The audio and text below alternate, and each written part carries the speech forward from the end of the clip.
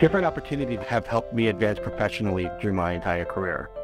When I was an undergrad, I was uh, president of a student body association at my community college.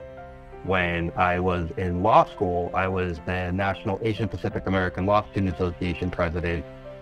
And, and taking those types of opportunities end up giving you more leadership skills and also more opportunities for career advancement. It's the same thing here at Littler because Littler has a group such as Ohana, it allows us as Asian American attorneys to obtain and take leadership opportunities within the firm. And those opportunities allow us to become better firm citizens, better colleagues, and better attorneys, not only internally, but externally with our clients.